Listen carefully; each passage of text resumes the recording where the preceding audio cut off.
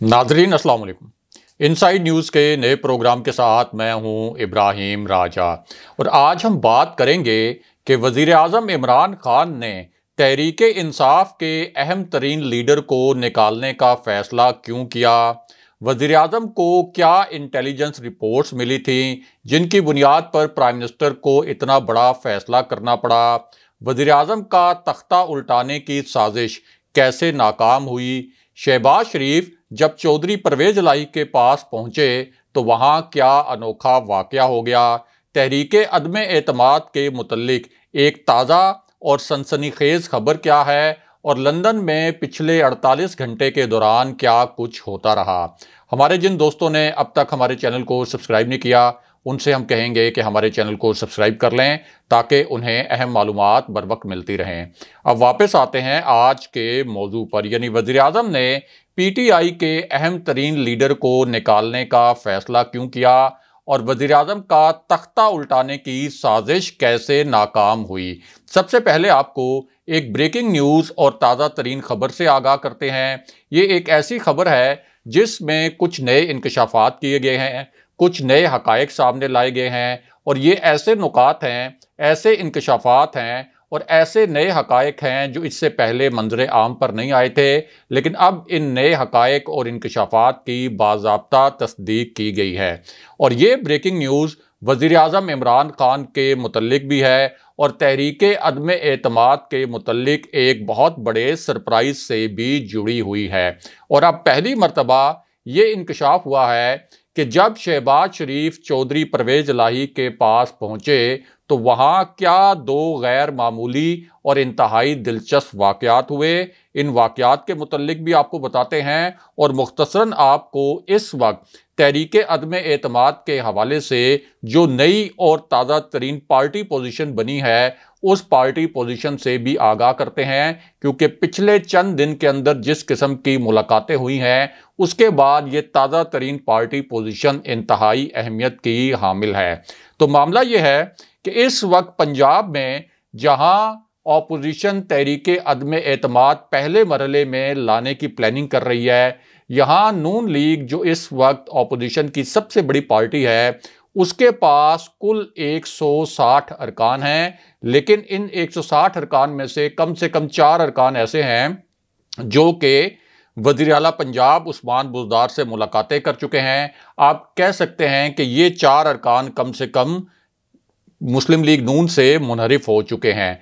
और ये 160 जो कुल मिलाकर अरकान हैं, इनमें मखसूस नशस्तों पर आए हुए अरकान भी शामिल हैं। दूसरी जानब, पीपल्स पार्टी, जो इस वक्त तहरीक अदम एतमाद के लिए सबसे ज़्यादा सरगर्म है, जो आसिफ अली जरदारी, चौधरी परवेज लाई के पास गए थे एक फार्मूला लेकर उसके पास पंजाब में कुल मिलाकर सात नशस्तें हैं। साठ नहीं, सात यानी सेवन का फिगर है उनके पास। और यूँ मुस्लिम लीग नून और पीपल्स पार्टी के पास कुल मिलाकर एक सौ सड़सठ अरकान बनते हैं। लेकिन इन एक सौ सड़सठ अरकान में से भी आप चार अरकान वो निकाल दें जो मुस्लिम लीग नून से मुनहरफ हो चुके हैं। दूसरी जानब, तहरीक इंसाफ के पास अपना जो फिगर है, यानी ऐसे अरकान जो तहरीक इंसाफ के टिकट पर मुंतखब हुए या बाद में तहरीक इंसाफ का हिस्सा बन गए, उनकी तादाद एक सौ इक्यासी है। पंजाब असम्बली में आज़ाद अरकान की तादाद चार है और इस पूरी सिचुएशन में काफ लीग की मिनतें इस वजह से की जा रही हैं। और शहबाज शरीफ और आसिफ अली जरदारी और फजल रहमान काफ लीग की चौखट पर इसलिए सजदा रेज हो रहे हैं कि काफ लीग के पास पंजाब असम्बली में दस नशस्तें हैं और ये दस अरकान जो हैं, एक फैसला कन किरदार अदा कर सकते हैं अगर पंजाब में तहरीक अदम एतमाद आती है। अब कौमी असम्बली में जो दिलचस्प पार्टी पोजिशन बनी है, उससे आपको मुख्तसरा आगाह करते हैं। तो मामला ये है कि कौमी असम्बली जो है, ये 342 मेंबर्स का 342 अरकान का ऐवान है। कौमी असम्बली में नून लीग सबसे बड़ी अपोजिशन जमात है और उसके पास चौरासी अरकान हैं इस वक्त कौमी असम्बली में। दूसरी जानब पीपल्स पार्टी अपोजिशन की दूसरी सबसे बड़ी जमात है इसके पास कौमी असम्बली में पचपन अरकान हैं। बी एन पी मैंगल, जो पहले तहरीक इंसाफ की इतिहादी थी, अब पी डी एम का हिस्सा है, उसके पास चार अरकान हैं। एम एम ए मुतहदा मजलिस अमल के पास सोलह अरकान है, लेकिन ये सोलह के सोलह अरकान जो है, ये मौलाना फजलरहमान और जे यू आई के कंट्रोल में नहीं है, जबकि ए एन पी के पास सिर्फ़ एक नशस्त है और एक नशस्त वाली ए एन पी भी प्राइम मिनिस्टर इमरान खान से इस्तीफ़ा मांगती है। ये कितनी मुजिका खेज बात है। यूँ अपोजिशन का जो इतिहाद है, इसके पास मखसूस नशस्तों पर आए हुए अरकान समेत एक सौ अट्ठावन के करीब तादाद बनती है और दो आज़ाद अरकान जिनका झुकाव अपोजिशन की जानब है, अगर उनको भी मिला लिया जाए तो ये फिगर बनता है तकरीबन 160 यानी 160 अरकान 342 के ऐवान में इस वक्त अपोजिशन के पास मौजूद हैं।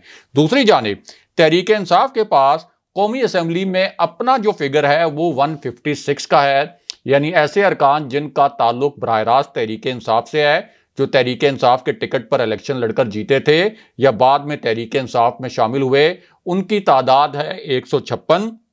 कौमी असम्बली में तहरीक इंसाफ की एक इंतहाई अहम इतिहादी काफ लीग के पास पाँच नशस्तें हैं। फिर अगर एम क्यू एम की बात की जाए तो वो कौमी असम्बली में एक कलीदी किरदार अदा कर सकती है। उसके पास सात नशस्तें हैं। बलोचिस्तान अवामी पार्टी, जो कि इस्टेब्लिशमेंट की जमात है, जिसको बाप भी कहा जाता है सबको पता है कि इस्टेब्लिशमेंट की मर्ज़ी के बगैर उनकी सियासत नहीं चलती। उनके पास पाँच नशस्तें हैं। जीडीए के पास तीन नशस्तें हैं। शेख रशीद के पास एक नशस्त है और जमहूरी वतन पार्टी के पास भी एक नशस्त है और जमहूरी वतन पार्टी भी इस वक्त तहरीक इंसाफ की इतिहादी है। यूँ हुकूमत के पास कुल मिलाकर एक सौ अठहत्तर नशस्तें बनती हैं, जबकि दो आज़ाद अरकान भी आप कह सकते हैं कि इनडायरेक्टली इस वक्त हुकूमती इतिहाद का हिस्सा हैं। तो इस तरह ये कुल फिगर तकरीबन 180 बनता है 180 अरकान है एक जानब और दूसरी जानब 160 अरकान है ऑपोजिशन के पास।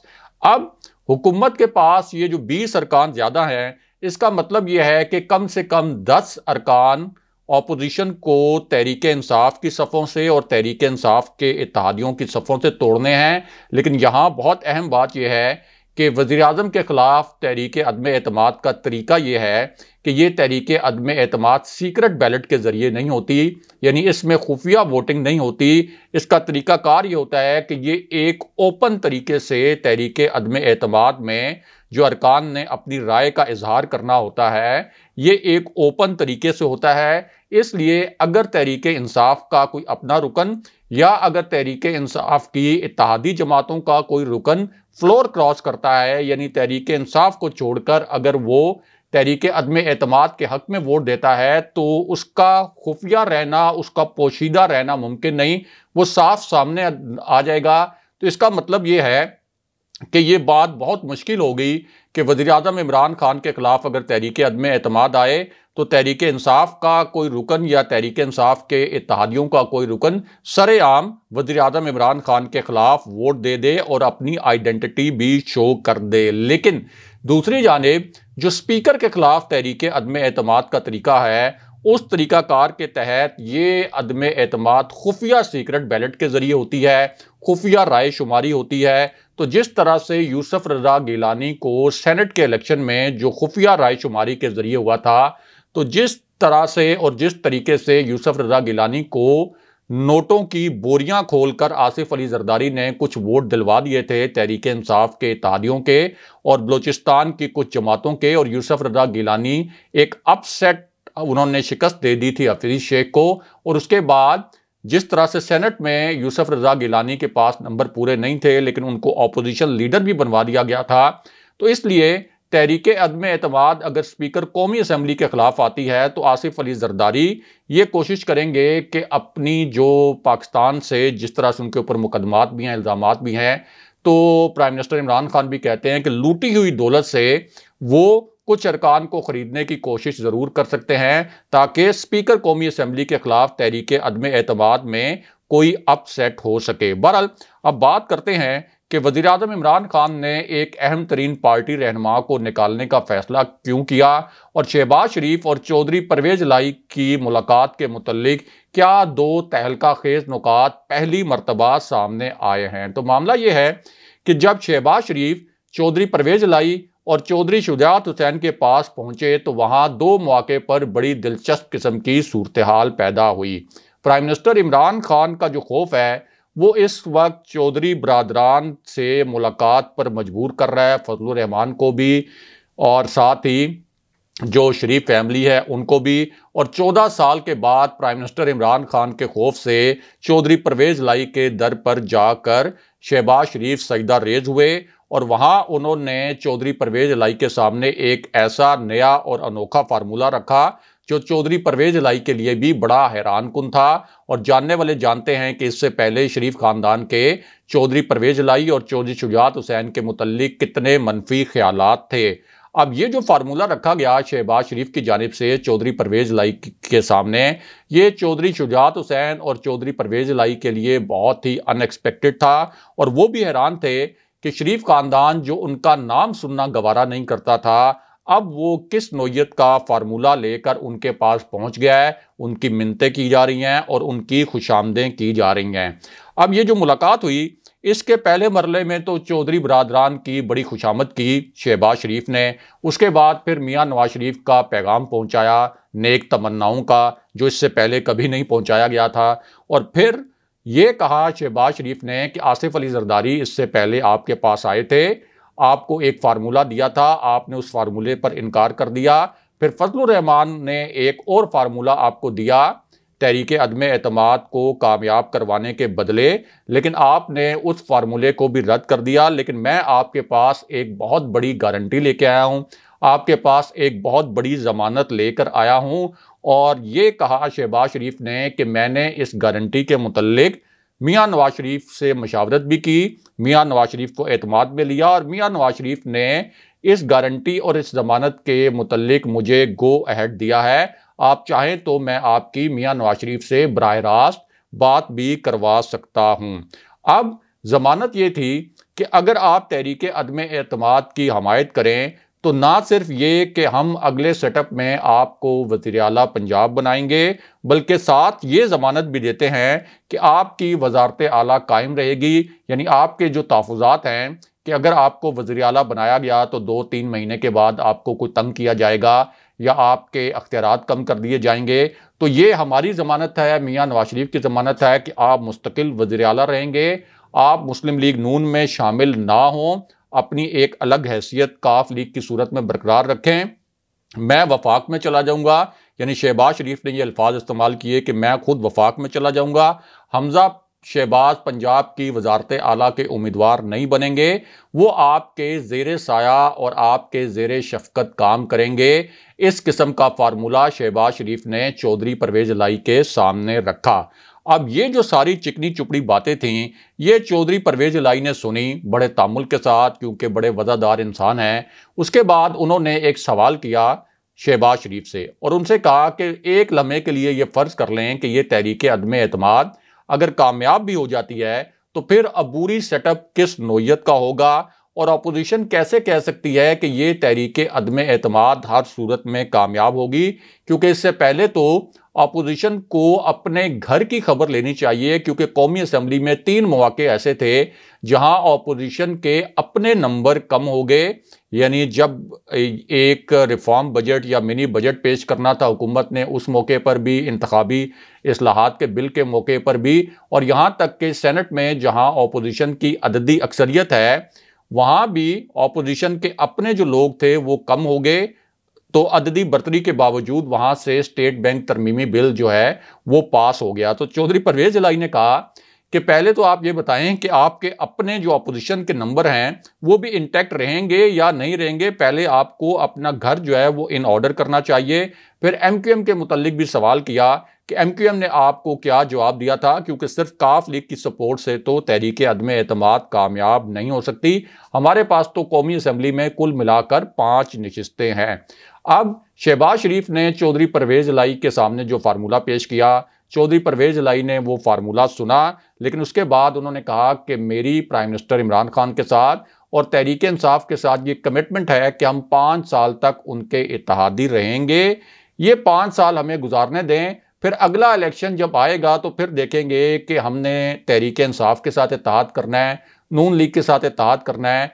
या हमने अपनी इंडिपेंडेंट जो पोजीशन है वो बरकरार रखनी है। यानी एक तरीके से शहबाज शरीफ को टाल दिया और असल में उनका तासुर ये था कि अब तक इस्टेब्लिशमेंट की जानब से कोई भी ऐसा इशारा नहीं आया कि ये तहरीक अदम अतमाद कामयाब होगी तो फिर हम ये एडवेंचर क्यों करें? क्योंकि इसमें बहुत अहम और समझने वाली बात यह है कि एम क्यू एम काफ लीग, बलोचिस्तान अवामी पार्टी। ये तीनों जमातें इस्टेब्लिशमेंट की सियासत करती हैं और अगर तहरीक अदम अतमाद की हमायत के लिए इस्टेब्लिशमेंट का कोई इशारा होता तो ये तीनों जमातें तहरीक अदम अतमाद की हमायत का ऐलान कर चुकी होती। इस्टेब्लिशमेंट इस वक्त बिल्कुल भी मूड में नहीं है कि जो तहरीक इंसाफ की एक कानूनी और आइनी हैसियत में अददी अक्सरियत है बीस अरकान की, उसको गैर आइनी और गैर कानूनी तरीके से कम किया जाए और अपोजिशन का साथ दिया जाए, क्योंकि इस्टेब्लिशमेंट को भी मालूम है कि ये एक गैर आइनी और गैर कानूनी अमल होगा। बहरल अब वापस आते हैं कि वजी अजम इमरान खान ने पार्टी के एक इंतहाई अहम रहनमा को निकालने का फैसला क्यों किया और अगले पंद्रह दिन के मुतलिक क्या बहुत बड़ा दावा किया गया है? अब ये जो दावा है ये एक ऐसे वक्त में किया गया जब मियाँ नवाज़ शरीफ की जानब से एक खबर लीक करवाई गई थी। इस खबर के मुतलिक बड़ी हेडलाइंस भी बनी थी और बड़ी बड़ी सुर्खियाँ भी लगाई गई थी इसी खबर के मुतलिक और ये जो खबर थी, इस खबर में ये कहा गया था कि अपोजिशन 24 फरवरी को तहरीक अदम एतमाद लाएगी। ये एक मियाँ नवाज़ शरीफ की जानब से प्लांट करवाई गई थी खबर और बहुत से साफियों ने ये खबर दी भी थी। अब इसी पूरी सिचुएशन में एक शख्सियत ने एक बहुत बड़ा दावा किया। ये एक ऐसी शख्सियत थी जिसने army chief general Qamar Javed Bajwa की एक्सटेंशन की हमायत के लिए मियाँ नवाज़ शरीफ को कायल भी किया था। और ये कहा था कि जनरल बाजवा की एक्सटेंशन की अगर हम हम हमायत करें तो इसके बदले में हमें कोई रिलीफ भी मिल जाएगा। लेकिन बाद में जब जनरल बाजवा ने कोई रिलीफ देने से इनकार किया और ये कहा कि आपके जो कानूनी मामला हैं वो अदालतें देखेंगी, जो पार्लियामानी मामला हैं वो पार्लियामेंट देखेगी। तो उसके बाद फिर जनरल बाजवा के ख़िलाफ़ नून लीग ने एक मुहिम शुरू की थी। अब यही जो शख्स हैं, जो मियाँ नवाज़ शरीफ और मरियम नवाज़ के बहुत करीब हैं, यानी ख्वाजा आसिफ। इन्होंने एक बहुत बड़ा दावा किया है और ये दावा तहरीक अदम अतमाद के मतलब किया गया है और इनका कहना है कि अगले 15 से 20 दिन में हम तहरीक अदम अतमाद ले आएँगे, लेकिन हकीकत यह है कि तहरीक अदम अतमाद के लिए अपोजिशन के पास नंबर ही पूरे नहीं है। शहबाज शरीफ इस वक्त बड़े परेशान हैं और फजलरहमान भी परेशान है कि तहरीक अदम अतमाद का हमने नाम तो ले लिया, दावा तो कर दिया लेकिन अब हम नंबर कैसे पूरे करें? बहरहाल, अब बात करते हैं कि वजी अजम इमरान खान ने तहरीक इंसाफ के एक इंतहाई अहम रहनमा को निकालने का फैसला क्यों किया? तो मामला यह है कि प्राइम मिनिस्टर को इंटेलिजेंस ज़राए से कुछ बड़ी हसास नोयत की रिपोर्ट्स मिली थी। बहुत अहम नोयत की ये रिपोर्ट्स थी और इन रिपोर्ट्स में ये दावा किया गया था कि ये जो शख्सियत हैं, यानी तहरीक इंसाफ के रहनमा, ये नून लीग से रबते में थे तहरीक इंसाफ के ज़राए का यह दावा है कि इस रहनमा के नून लीग के दो मरकज़ी रहनुमाओं से मुसलसल रबते थे। फिर इस रहनमा ने जब नून लीग के इन रहनुमाओं से रबता कर लिया तो तहरीक इंसाफ पर तहरीक इंसाफ की क्यादत पर और बर रास्त प्राइम मिनिस्टर इमरान खान पर तनकीद करना शुरू कर दी। ये रहनमा प्राइम मिनिस्टर इमरान खान के पुराने दोस्त भी थे, बहुत करीबी दोस्त होते थे और प्राइम मिनिस्टर इमरान खान की जानब से इनके ऊपर बड़े एहसानात भी किए गए थे। ये तहरीक इंसाफ के ज़राए का कहना है। अब इस रहनमा को पहले मरले में शोकात नोटिस जारी हुआ तो उस शोकात नोटिस का जवाब नहीं दिया गया। फिर इसी रहनमा को पार्टी का जो इनके पास अहदा था, उस अहदे से हटा दिया गया। यानी सेक्रेटरी इतलात के अहदे से हटा दिया गया। यही शख्सियत तहरीक इंसाफ के ज़राए के मुताबिक सेनेट का टिकट भी हासिल करना चाहती थी, लेकिन इन्हें सेनेट का टिकट भी नहीं मिला। अब इनकी एक तस्वीर सामने आई है, और ये जो तस्वीर है, ये शहबाज शरीफ और एहसन इकबाल के साथ है। इस तस्वीर के सामने आने के बाद नून लीग की जानब से दावा ये किया गया कि ये जो रहनमा हैं पीटीआई के जो पीटीआई के बानी रुक, रुकन थे इमरान खान के बड़े करीबी दोस्त थे ये अपनी मर्ज़ी से तहरीक इंसाफ को छोड़कर मुस्लिम लीग नून में शामिल हो गए हैं। और ये दावा किया गया कि देखें तहरीक इंसाफ को छोड़कर लोग नून लीग की जानब मायल हो रहे हैं। हालाँकि ये जो रहनमा हैं यानी अहमद जवाद इनको बाबा तौर पर पार्टी से निकाला गया था। इनकी जो बुनियादी रुकनीत है, यानी अहदा तो एक तरफ़ इनकी बुनियादी रुकनीत भी मुकम्मल तौर पर ख़त्म कर दी गई थी और प्राइम मिनिस्टर इमरान खान के बर रास्त अहकाम पर इन्हें पार्टी से निकाला गया था। ये खुद अपनी मर्ज़ी से पार्टी छोड़कर नहीं गए थे, जैसे कि नून लीग ये दावा कर रही है कि खुद ये पार्टी छोड़कर गए थे, बल्कि इन उसको जो निकालने का डॉक्यूमेंट है, वो भी बतौर साफ़ी हमने खुद देखा है। अगले प्रोग्राम तक के लिए खुदाफिज़